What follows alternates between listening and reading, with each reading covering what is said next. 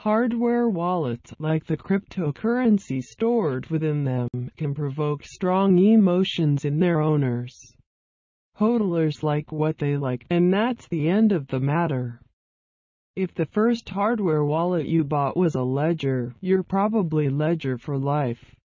Likewise if you're in Team Trezor, KeepKey, which completes the holy trifecta of hardware wallets, is less famous than its siblings, but the sleek black plastic device still packs a punch.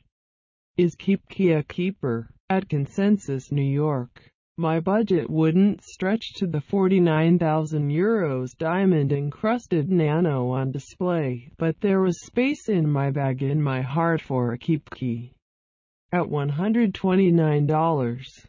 It's a little pricier than the Ledger Nano or Trezor One, but cheaper than the Swish new Trezor Model T. I should probably add a warning at this stage, incidentally.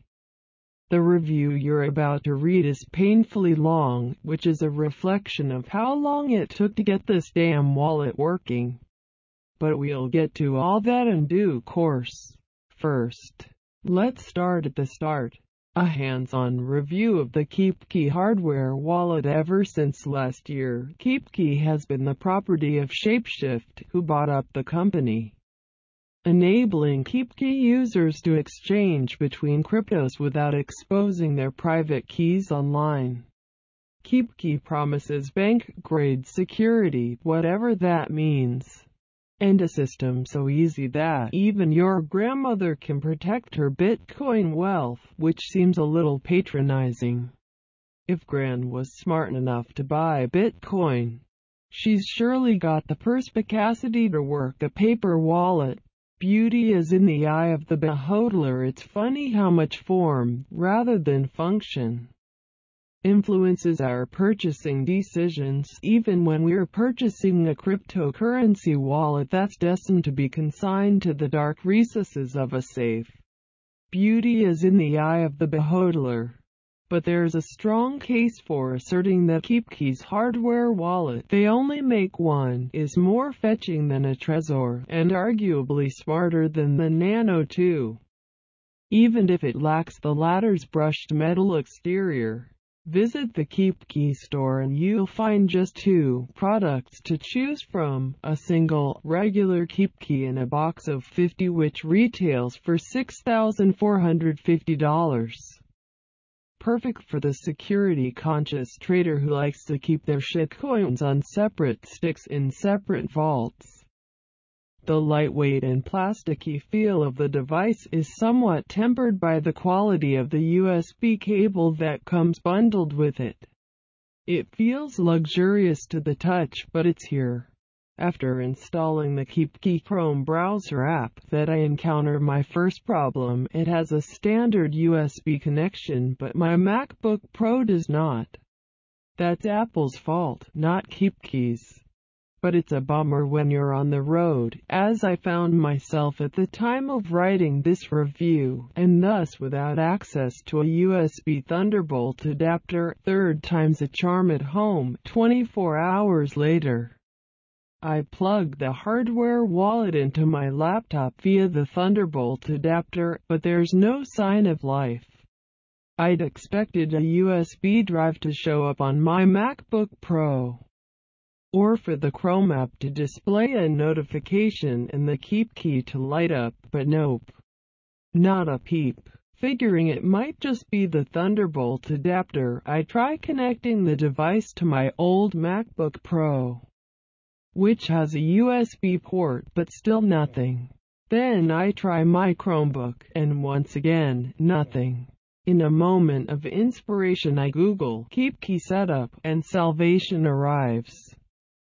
According to KeepKey's Get Started page, you need to first open the app by navigating Chrome to chrome colon slash slash apps slash. This is less than intuitive, but is partly Chrome's fault for having a crappy UI that conceals extensions and apps behind submenus. This does mean, however, that every time you go to use your KeepKey, if you're as disorganized as I am, you'll need to Google KeepKey Setup to remind yourself of how you get into the damn thing. Wait, not so fast. A hands-on review of the KeepKey hardware wallet. The KeepKey interface is simple but functional. Having successfully gotten my Chromebook to update the KeepKey, I decide to reconnect it to my Mac and see if the laptop can now detect it. It can, and I'm prompted to set up my PIN and then write down my 12-word recovery phrase. I've written it down once. And I'm just preparing to jot down a second copy when the device inexplicably disconnects and I'm forced to start the whole process all over again. After re-entering my PIN twice, I begin jotting down the new recovery phrase when the same thing happens. KeepKey and my Thunderbolt adapter can't seem to get along, so I resignedly reconnect it to the Chromebook. Eventually I succeed in finding the apps section of Chrome by pasting the URL into my browser, whereupon I'm prompted to hold down the button on the KeepKey and plug it in to update the firmware. When that's done, I'm presented with a screen showing a BTC wallet set up by default and nothing else. I hit the plus sign to add a BCH address and then scan the QR code from my Bitcoin.com wallet. I select $5 of Bitcoin Cash and send it to my KeepKey address. The fee is 3 cents. While I'm waiting for the transaction to clear, the KeepKey logo lurches across the screen in installments. It reminds me of the handheld monochrome soccer game one played as a kid anachronistic but comfortingly nostalgic. A hands-on review of the KeepKey hardware wallet the Bitcoin.com wallet nice device. Now how about some altcoin support? I like the design of KeepKey, and I like the cable, if it's possible to have affection for a USB cable, while the software is passable. Is the device capable of challenging Trezor and Ledger? Sure, provided you're happy to hodl Namecoin, Doge, and Dash. 2016 just called and it wants its altcoins back. In fairness to KeepKey, there is at least BTC, BCH, ETH, and LTC support and native ERC20 token support is currently in beta so should eventually arrive. Given some of the ERC20s I'm embarrassed to own. It's probably for the best I didn't get a chance to screenshot them in this review. A hands-on review of the KeepKey hardware wallet One KeepKey, now equipped with Bitcoin Cash. KeepKey's biggest weakness right now, as its team are undoubtedly aware, is the shortage of coins that can be stored on it. While the market leaders are pressing ahead with Monero support, KeepKey is still way behind the curve. It would be great to have EOS, Cardano, Zencash and maybe some Ripple for the ladies. It's odd that there's support for the 295th coin by market cap Namecoin.